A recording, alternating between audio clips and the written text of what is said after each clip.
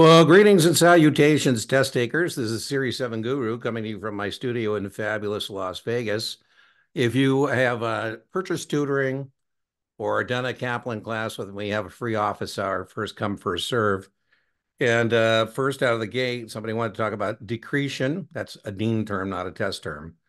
Uh, straight line amortization upward is called accretion. And you should know that word. Straight line amortization downward is called decretion, not a test term. It's just going the other way. Now, the IRS thinks that when you buy a muni bond, that you have other things in your portfolio, Sandy, and they're correct. Mm-hmm. And so they're not going to let you decide when to take a loss on this uh, bond because you're buying a higher than today's tax-free return because that's why it's trading at a premium. And so they say, listen, you got to take it in little itty bitty hits along the way. And so what we're going to do is we're going to amortize or adjust our cost base each year. Here's a very much an example of a test question.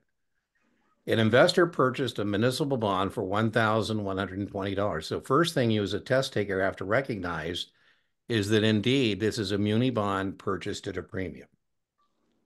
And we're not going to let you decide when to realize that $120 loss because what we think you would like to do is take it at one fell swoop at maturity to offset gains you may have elsewhere in your portfolio. No, no, no.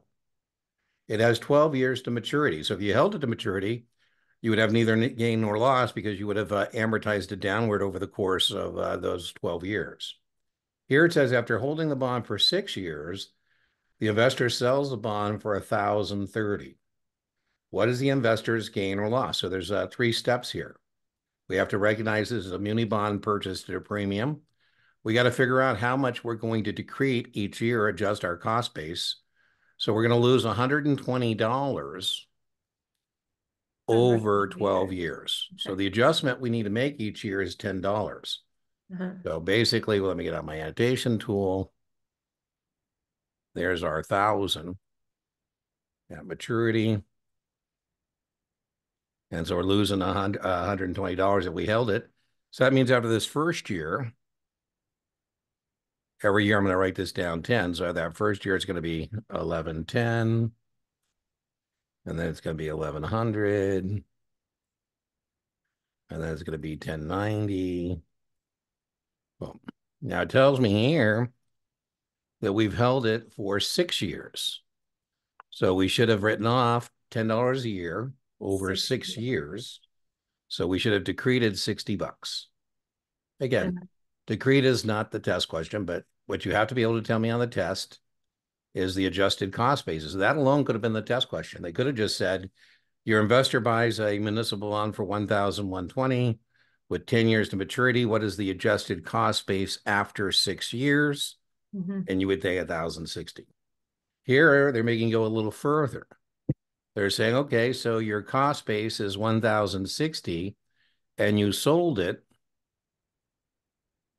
for 1,030.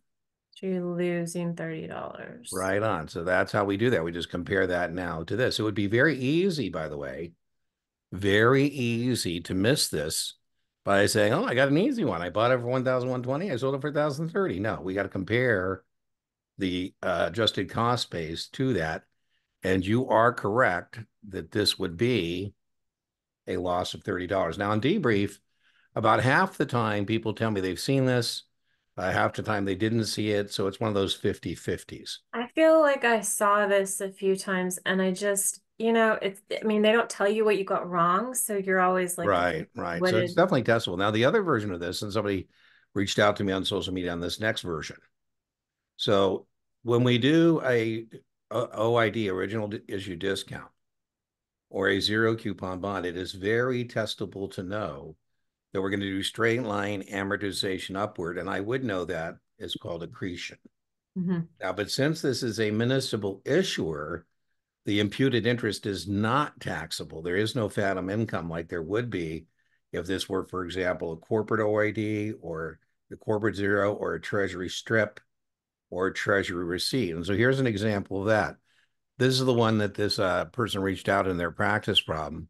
They had bought a uh, municipal, I forget what it was, Georgia County or some Columbus, Ohio, whatever. It was a muni OID and they bought it for 500. dollars mm-hmm. And then they said it had ten years to maturity. So remember, you're gonna get back a thousand. And we'll just make up the ten years here. So you're making five hundred dollars. Over the ten-year period. Yeah, and when we would do boom, boom, ten years. Same deal. We're gonna adjust our cost base up each year, 550, 600. And then remember, the only part of a muni bond that is tax-free is the coupon. So if we sell this for more than our adjusted cost base, that's gonna be a capital gain. So that's gonna be fifty dollars a year that we would adjust our cost base. So this would be five fifty. This would be, you know, six hundred. I didn't think about that doing the line with the actual like that might Yeah, be and then remember though, it, it's because it's a muni that that fifty dollars is not taxable.